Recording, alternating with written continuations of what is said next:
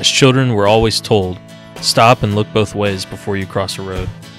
When we start driving, we learn to look out for road signs, which warn us of what we are approaching. Then there is the traffic light, which is supposed to signal when to continue, slow down, or stop entirely. Somewhere along the way, these signs become less noticeable. The yellow light, which once meant slow, now means go, and our focus becomes fixated on blowing right past anything which might slow us down, making us entirely lose sight of what is around us. As people of God, we have a Father who desires to interact with his children, sometimes without warning, but often through clearly communicated and anticipated ways. When we grow old in our faith, do we stop recognizing the signs? Do we take it slow and look both ways? Or are we too focused on just getting through the next intersection?